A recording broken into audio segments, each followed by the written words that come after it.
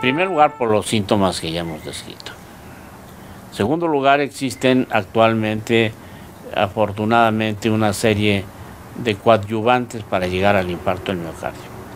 El que primero, al que primero recurrimos es al electrocardiograma.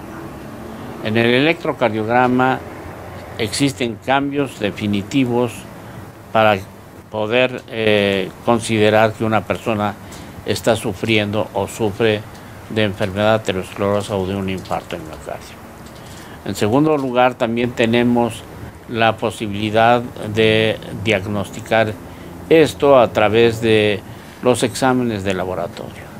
Existen marcadores actualmente que se encuentran elevados los niveles de estos marcadores, como son la troponina I, como son la, algunas otras enzimas que se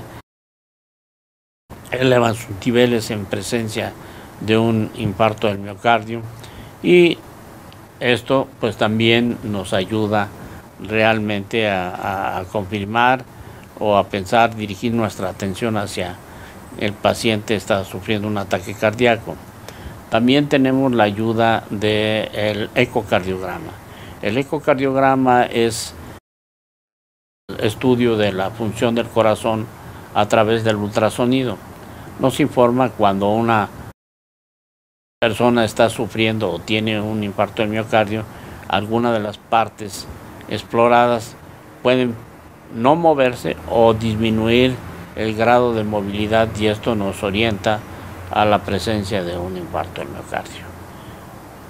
Lógicamente la comprobación y, y el tratamiento tienen un alto grado de sensibilidad a través del cateterismo cardíaco.